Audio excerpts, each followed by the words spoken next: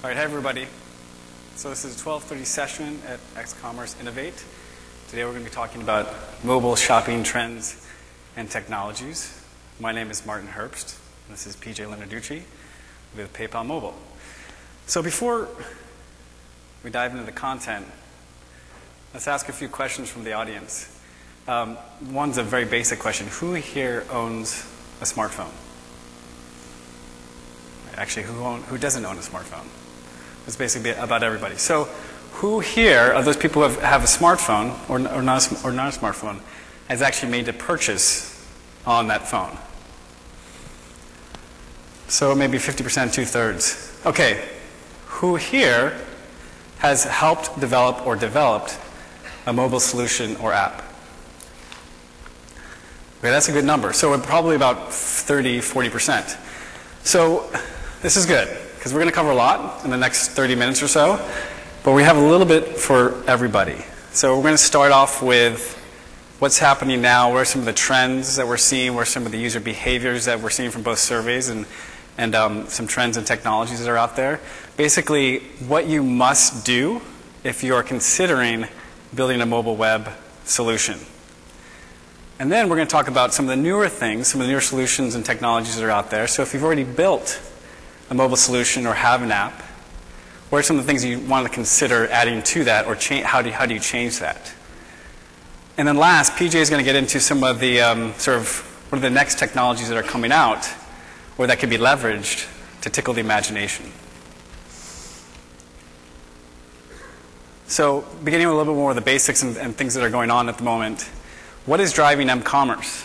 Well, first and foremost, you, almost everyone raised their hand. Everyone's got a smartphone.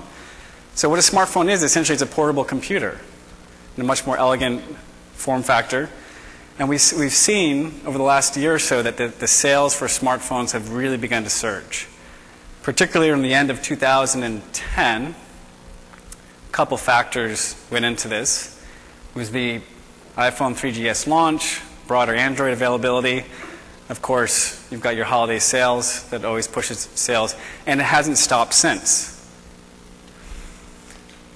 And with this adoption of smartphones, again, being able to take that e commerce experience portable anywhere you go, having the robustness of that e commerce experience at your disposal at any time, what's happening is that we're seeing this is a, a slide or, or, a chart that Mary Meeker popularized about a year ago is that the trend that we're seeing is that as a, as a percentage of retail sales, m commerce is growing three times faster than e commerce did. So again, the trajectory, the demand is huge and it's happening now. So what's driving, what are the behaviors, what are those latent demands that are driving mobile shopping? What's driving you, what's driving me to actually make these purchases through my phone? You see a lot of examples up there. We're going to go through some of them in a second. Can I get any guesses from the crowd on what the number one reason why people shop using a mobile device? Anybody? Just shout it out. Pricing, availability, what else? Convenience. Okay. Because they're bored. People are bored and looking to pass time. That's essentially what a mobile device does. It actually it fills time, it fills a gap. Where you once had to go back to your computer to shop back at home or back at the work, you can do it now. And we're seeing a lot of these reasons for driving mobile shopping. A lot of similar reasons, if you sort of strip out some of them and, and try and find some trends, it's what's happening is this, we call it impulse shopping, call it whatever. The phone, now that's on you, has a robust technology with a connection to the internet. It connects that inspiration to an action. So again, put this in real life. I'm sitting down, I'm waiting at the dentist's office. I'm looking at a magazine to see a watch I want to buy. I can buy it at that moment whether you're on the web, in the store, seeing something in a magazine, again, the device allows that opportunity. It taps into that latent demand that you couldn't tap into before. The other, other reasons, if you start again, you pull out some of the trends, the phone, because it's access to information anytime, anywhere, gives you information to inform your decisions. It, it powers remote research. Again, I want to check product reviews to see before I make this decision, is this, what are people saying about it? if I want to get technical specifications, see how many gigs the processor is, etc. Check out the newest and latest products before I make the decision. It, it informs my decision and makes my decisions um, better, more intelligent. So let's talk about sort of the must-dos. Um, if now, now that we, we've seen that the, the demand is huge, mobile commerce is growing, and there are certain behaviors that are driving this. There's certain table stakes that you need to consider if you're building a mobile site or app. And number one is reducing friction. You've got this latent demand, and um, the great thing about this is that we've seen is that it's not just a shift from e-commerce to mobile commerce. If you go back to this slide, again, we're, we're filling gaps. This is incremental. So it's, again, it's a huge opportunity. So as a retailer, as a developer building a retailer shopping experience on a mobile device, it's most important that you have to do it right. And reducing friction, particularly in a small device, is paramount. So look at the differences between buy.com, and the regular web experience on an, on an iPhone versus the actual mobile web solution. Look at the differences. You've got about, I don't know, 100 different calls to actions on the left-hand side versus about 10 or less on the, on the right. Draws, draws the user in, can actually funnel them into the experience much more seamlessly. So that's table stakes. That's very important. And the same goes with payments. So if you've got someone into, into the door, into your store, you don't want to put hurdles up when they're about to actually make the purchase.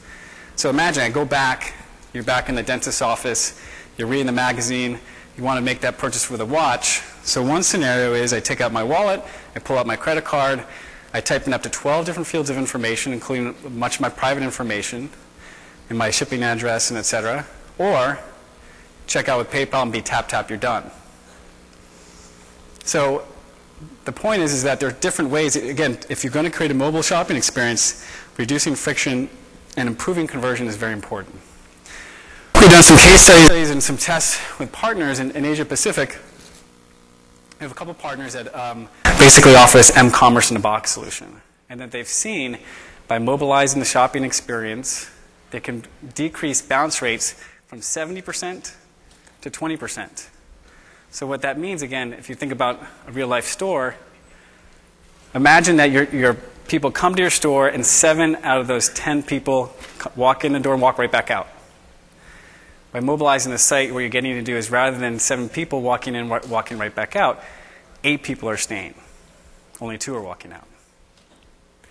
And so if they get to actually the checkout, you have to make sure you've got a seamless experience and experience in which users can trust. We've done some A-B testing, A-B testing with a retailer called Crutchfield, electronics retailer, and they found by comparing regular checkout solutions to, pay, to PayPal, you're increasing conversion by 34%. So again, the idea is that there's certain things you need to do if you want to mobilize your, your shopping experience. Focusing on increasing conversion with a mobilized site or app and a good payment um, flow is paramount. So those are some of the things that they must do. Here's some, some things that other merchants and retailers, uh, maybe more advanced, on the more advanced end of the scale, are trying that you'd want to consider. Again, if we think back about the two different buckets, inspiration, connecting inspiration to action, some things that are out there, of course, you know, a good search experience that brings relevant results, ideally local results, because it can use GPS, and PJ will talk about that in a second. And also capitalizing on that latent demand, that sort of that impulse shopping using deals, daily deals, and then take it one step further by using push notifications, emails, etc., to tap into that demand. So if I am anywhere with my device, I can not only, you know, if I want to, find the daily deals, but find the deals that are around me and they're relevant to me by clicking on an, um, a push notification. The others are sort of product scanning. Um, we talked about remote re- uh, research. I'm in the store and I want to find out more information about that product before I buy. Again, reducing conver- uh, improving conversion, reducing friction. Why not be able to scan the code and be able to get information immediately to your phone? What's happening as a result with the mobile technologies is that we're seeing a convergence between, um, this actually should say, uh, remote behavior and retail behavior. And mobile technology is driving this. Basically, the lines are blurring. So things that you were doing um, on your computer at home, you're doing now in the retail and the shopping experience in real life. And the way that you used to do things in the store is changing because you can actually use mobile device and technologies to be able to change that. We'll talk about a couple examples of this. One is augmented reality.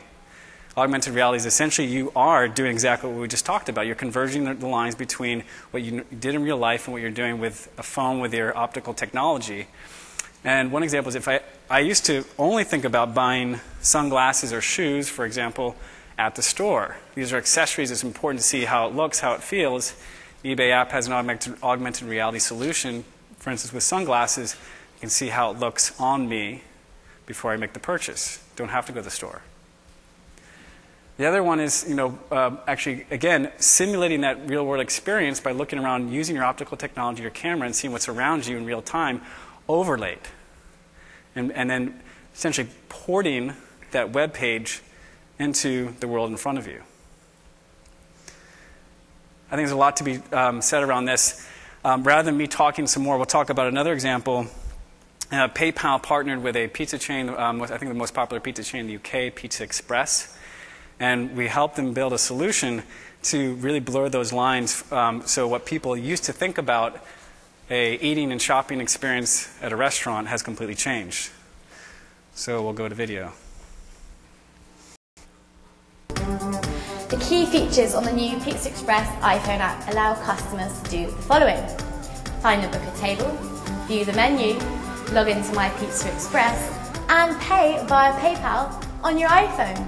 You can search for your favourite pizza by selecting the menu option and finding information on everything you need. And if you want to book a table, you can select this option and Pizza Express will find your nearest restaurant, get directions, and have your reservation booked.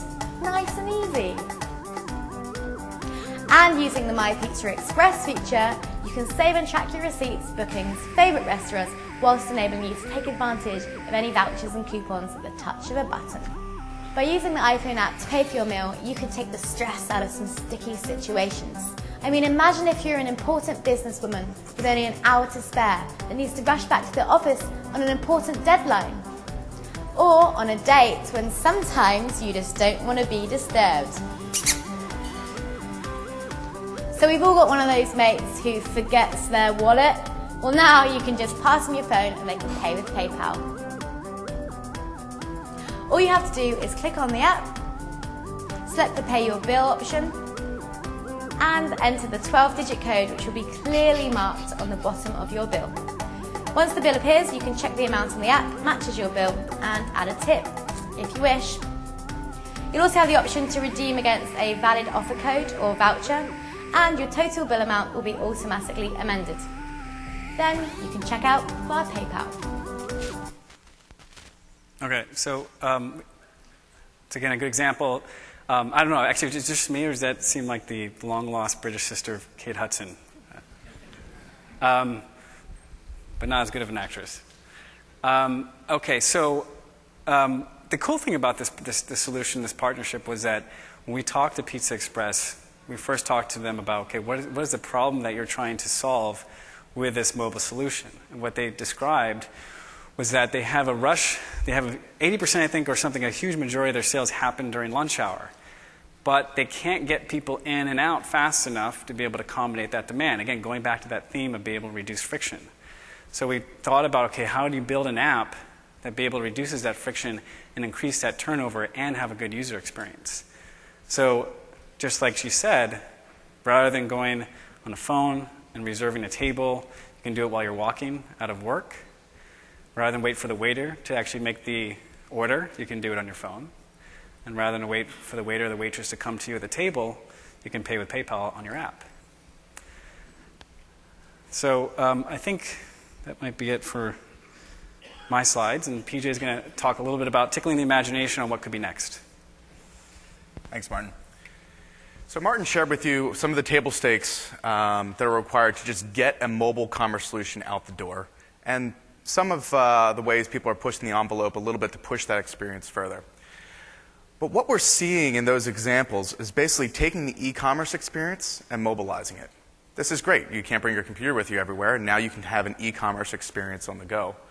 But what are the attributes of a mobile phone that can create thrilling user experiences that aren't even possible in the e commerce experience with a full screen and a full keyboard? When you look at the mobile technology that we're using today in most mobile com- uh, commerce experiences, you're talking about mobile websites and browsers or downloadable apps. These are the core enabling technology of a mobile co- commerce experience. What we're missing is context. So you're basically taking the paradigm of e commerce where you're logging on from some IP address, some remote computer, detached from the shopping experience, and facilitating a, a transaction. What we can do now with proximity technologies is wrap that experience in the context of the consumer. What is the consumer doing? What does he want to interact with? Where is he? What is he in the process of doing? Uh, what is his intent? Um, if you understand the context of the consumer, you can reduce friction uh, and therefore increase uh, these impulse buys that Martin talked about. So, what, what is a pro, uh, proximity technology? Um, I actually cast a wide net in, under this topic. I think it's a pretty broad term. Um, GPS is probably the most common one, but when I think about proximity technology, I look at the underlying technology in the phone. What is the hardware in the phone? And let's enumerate those different systems and figure out which of those systems can tell me something about the user's context. It doesn't have to be just the GPS that tells me where the consumer is. There's a lot more we can do there. So you've got the, the GPS system, great and powerful tool. A lot of people taking advantage of that. Uh, you've got the accelerometer. Uh, Bump is an example of taking advantage of that in, non, in a way for which the hardware was not intended. You've got optical interfaces, the camera and the, and the screen. You've got a number of RF, radio frequency uh, protocols. And then you have an audio system built into every phone. So let's step through this and talk about different ways that these systems can be used to give you context about the consumer. So we touched on GPS. I'm not going to go into depth here. There are whole separate conferences about location-based services. Um, but you know, think about taking this to the next level. So don't just think about GPS as location-aware ads. Um, think about ways that you can understand the context of the consumer, understand the intent of the consumer, and push them relevant information. So when I'm walking down the street, I might not want my phone to wake up and push me an ad, but I may want it to tell me that I've got a voucher or I've got a store credit from a return for a store that I'm walking past that's about to expire. That's something that's going to change my shopping behavior, and it's not going to do it in an intrusive manner. It's going to do it in a value added manner. Uh, the accelerometer, again, I won't spend a lot of time on this, but uh, PayPal has been partnered with Bump for quite a while. It's just an example of creative uh, engineers using the tools that are available to them in, in unintended ways um, they basically uh, use the accelerometer coupled with the GPS, coupled with statistical algorithms, algorithms in the cloud to come up with a way to understand consumers' intent. Um, so basically, using that technology without any device to device communication, they can understand when two consumers are tapping their phones together with the intent to exchange contact cards or make a payment and so forth. Optical interfaces. Every smartphone now, and many of the feature phones, have a camera and a, and a multicolor, uh, bright, large multicolor screen. These are incredible uh, input output devices for, for data communication. Uh, Martin talked about product research. This is one of the biggest uh, trends we're seeing happening in mobile commerce today. Consumers want more information before they buy. They want the ability to do all the research they do in, on e commerce when they're physically in the store. Um, when, you, when we talk about reducing friction in that example, product search is great, but if I can just scan the barcode, um, that just removes an extra step. It helps, it, it helps the phone to understand the, the intent of what I'm trying to do. And then the flip side, using optical systems in the reverse way, I can actually transmit data. Um, I can use the screen to project a barcode, a, a QR code, um, any other optical image to transmit that data. So the, the best examples we see in day-to-day lives are you know, the Starbucks card, where you're actually using it for payment and loyalty, um, and then boarding passes in the airport to actually get through security and get through the gate. Audio systems. I, this is one of my favorite ones because it's just so creative uh, and ubiquitous. So the killer app for the smartphone was the voice phone call. Therefore, every single mobile phone has an audio system, and it was intended just for voice calls. But how do we take that ubiquity and leverage it for something more powerful? Um, so uh, there's a number of companies out today using ultrasonic sound waves to transmit data. Uh, Shopkick is one example. They put a beacon at the front door of major retailers uh, that emits an ultrasonic sound, and when you walk into that retailer, you can launch your Shopkick app. It hears that sound beacon, and it checks you in, it gives you updates, it uh, informs the retailer of who's there. It's much more reliable check in than just a GPS based check in. Um, and it gives retailers the confidence that you actually did come into the store, and they can therefore pay more for that uh, information in the form of uh, kickbucks or points or loyalty and those things. Um, uh, a company called Naratte is out uh, today, and they're demoing outside, um, using ultrasonic data exchange at the point of sale to transmit uh, loyalty information. So no longer uh, need to cl- carry your plastic cards, you digitize your cards, and you communicate them to the, uh, to the clerk uh, via ultrasonic uh, signal.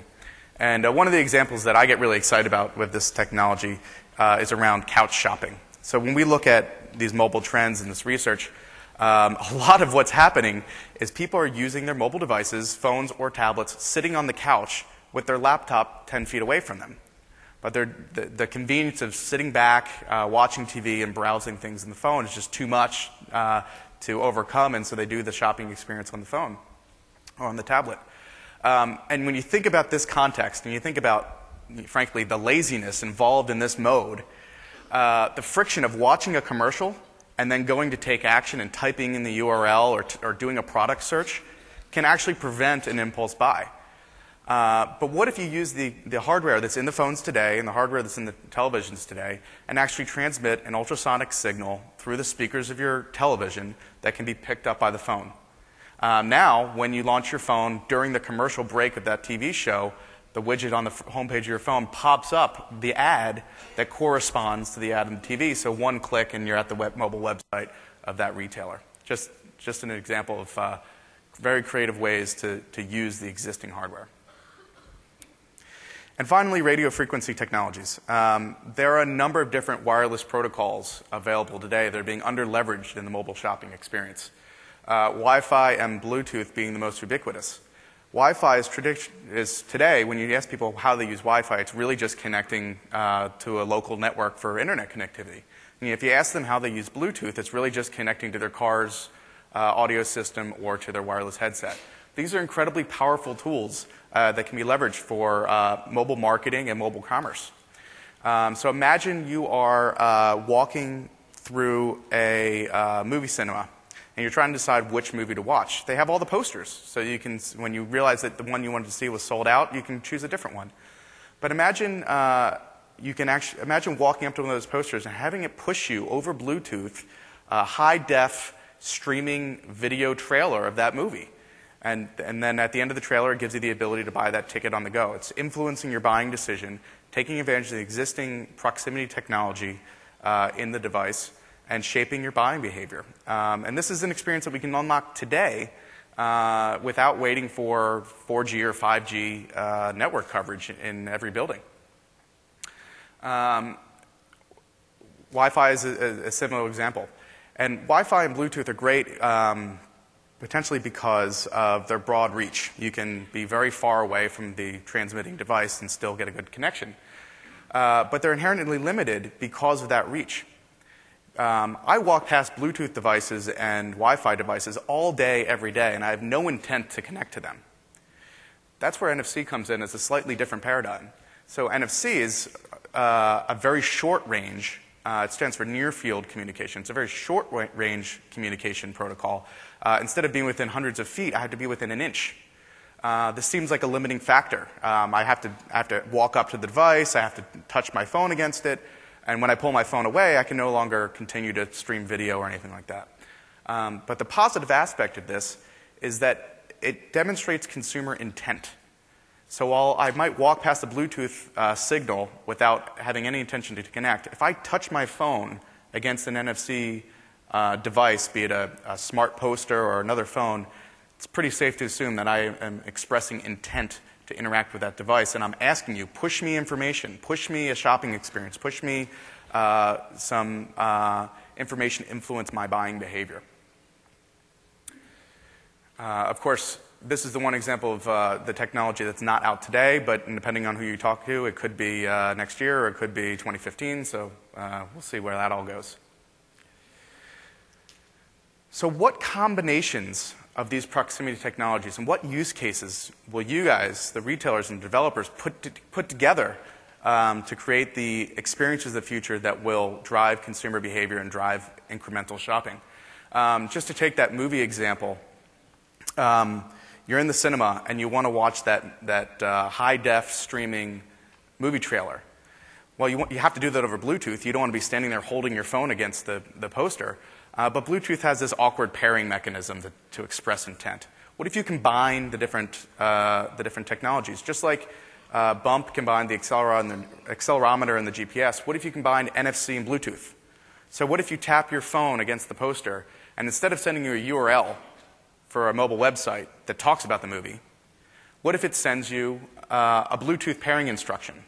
And your phone automatically interprets that and makes a Bluetooth connection, and then you pull your phone away, you walk away, and you've got this persistent, high baud rate uh, Bluetooth connection. You can stream the uh, movie trailer even as you walk away. You're combining the best of both worlds. You have very clear consumer intent, and you have long distance, uh, uh high broad, uh, broadband connection.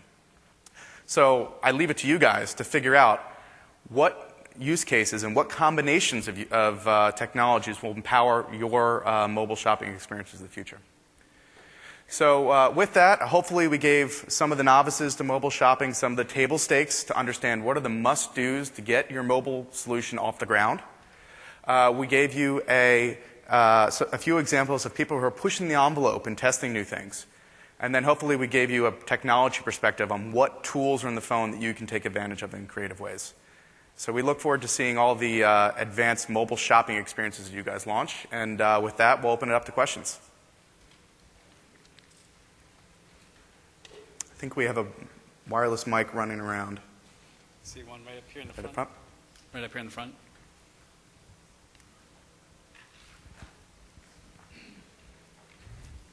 Hi, my name's Alex. I'm from Atlanta, Georgia, and I was curious about this uh, the the project that you had in the UK with the pizza place, with um, creating those codes that they had to enter for the to pay for the PayPal when they entered the code in the phone.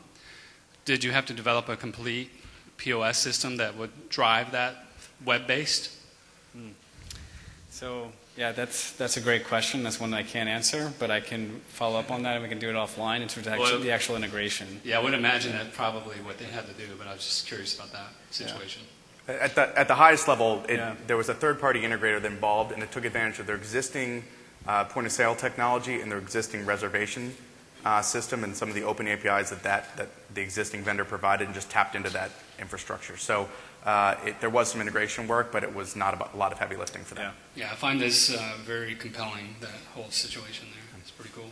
Thanks. Thank you. Any other questions? One right next to you, Carrie, right behind you. Hey guys, um, I may have missed this. I walked in a little bit late, but how is X Conference fueling uh, the use of the features that are given to us on our smartphone devices?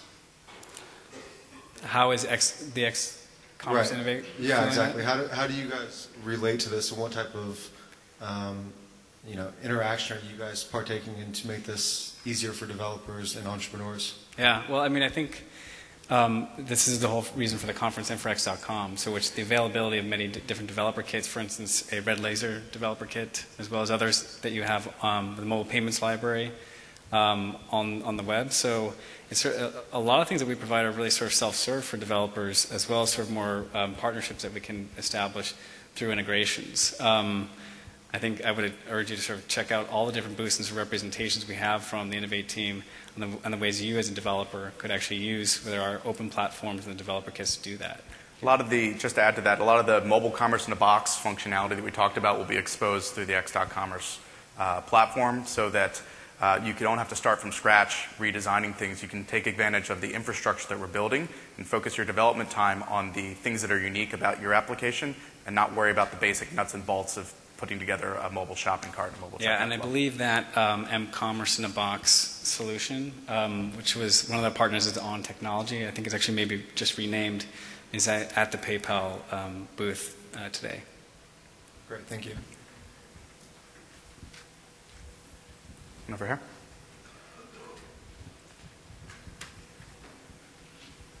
Thanks, guys. Uh, that was that was a good presentation. I enjoyed it. Regarding the in-store experience, particularly from a uh, mobile in-store experience, where do you see the infrastructure as it relates to large footprint stores, specifically rel- relative to 4G, 3G versus Wi-Fi, um, and how does that affect the experience? You know, in terms of the the large the infrastructure issue. There's various degrees of Wi-Fi, as you know, that are implemented in various retail environments versus 3G, 4G. I just wanted to know what you guys thought of that. What- one Where of- you see that going. Sure. Um, when you look at the Wi-Fi uh, infrastructure in a lot of these big box retailers today, it's it's pretty limited and it's hit or miss. Um, mostly, what you'll see is sort of internet cafe type stuff that won't cover the entire store, and some of these big box retailers won't have cellular data coverage. Period. It's you know just the giant concrete metal building just blocks it.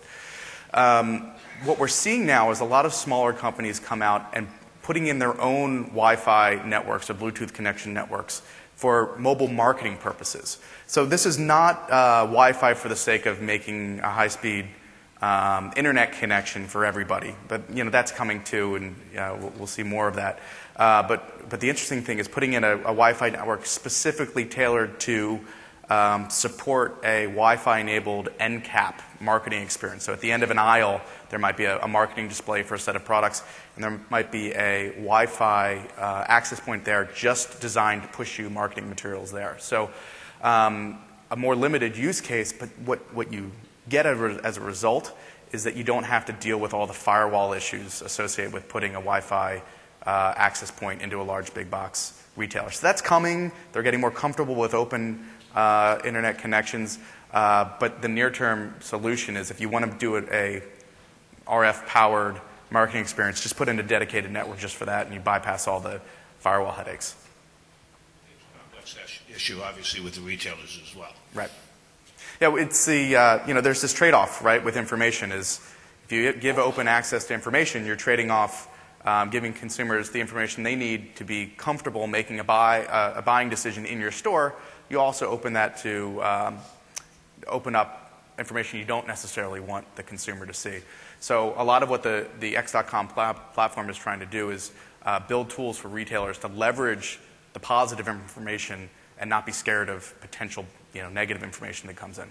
Yeah, the, the good news is, is you know, we've seen numbers as high as 30% just on 3G or 4G usage in the store by the consumer. So it's, it's happening. That's the good news. Yeah, and we're, we're encouraging retailers not to have a defensive position of if I don't give them internet access, they can't possibly find a better price. Uh, that's not a long-term strategy, right? So we're encouraging them put the internet access in and leverage it in a way that you such an overwhelmingly positive buying experience. You delight the consumer, and they just they they can't help but buy it immediately. And the, a lot of our uh, cross-channel initiatives are supporting that as well. So um, we're building the ability, the platforms, uh, to allow you to be shopping in store, make a purchase on your mobile, and have it shipped to home if you just don't feel like uh, carrying the, the, item home, for example. Um, so enabling cross-channel, multi-channel retailing in a seamless way um, is a great example of uh, delivering a great user experience that leverages the technology and, and doesn't fight against it. Other questions? Is There's one, one over over here? here, or, or if we have one on the tablet.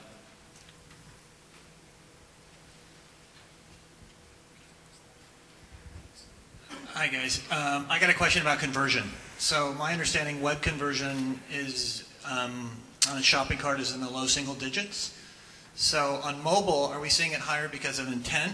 And then also, if you could recap the conversion numbers you talked about with, was it Crutchfield, or the retailer, the before and after? It was an improvement versus I didn't get the first part. Was it just Yeah. So there are two parts to that question. The first is, I think, how is a conversion working for mobile? Is it um, is it just inertia, or is it actually conversion once they get to the to the site? I think, if I'm catching that correctly, it's a little bit of both, right? So what we're seeing is that mobile shopping is incremental, It's filling a gap. Essentially, the device is there. Um, you're be able to connect inspiration with action. So we're seeing that actually mobile shopping is incremental to what we're already seeing with e-commerce, and it's growing faster than e-commerce did as a, as a percentage of retail sales.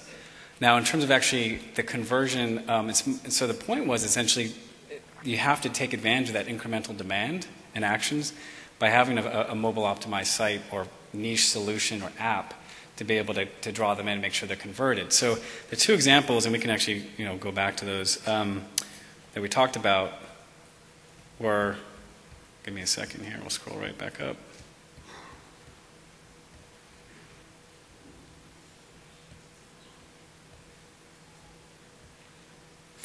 So the first one is m-commerce in a box solution. The one we just mentioned before is a company called On Technology. I, I, apologize. I think they may have just renamed or demoing something today. But using a channel partner that we have to be able to mobilize. Actually, this one is, is one in which they can actually do both. Both um, give you an e-commerce site as well as a as a mobile site. And what they saw is that um, the conversion rates, where if you already had a website and you viewed it through your smartphone, it wasn't optimized for the mobile device that the, the conversion improved or the bounce rate improved from 70% to, to 20%. So, in other words, I have discovered the site somehow, maybe through um, Google search or something like that, and in the former case, three, only three out of 10 people stay and actually browse, navigate, maybe purchase. And the second, um, eight, out of, eight out of 10 people stay. Now, the point at, at, that point is not only to get them to stay, but actually to get them to convert, to truly convert. Convert as in um, actually make a purchase. And so this is where the other example comes in with Crutchfield. And your, your, your question was about how did that work? And so we did A B testing with just a normal sort of uh, credit card checkout solution and also with PayPal. And so PayPal can host both, both you know, credit card as well as your own PayPal account. And we saw that if you compare the two, the two side by side, that the, the actual conversion rate, actually finishing the purchase once you express intent to buy is increased by 34%. There's an interesting thing about that because um, a lot of people, when they build websites, they build mobile solutions, they often think about the actual checkout solution last. It's just sort of like you know linear thinking. You think about okay, what's the, the site all about? What's my value proposition? How do I get people there? How do I market? And then it's almost an afterthought. How do I get them actually through the final checkout?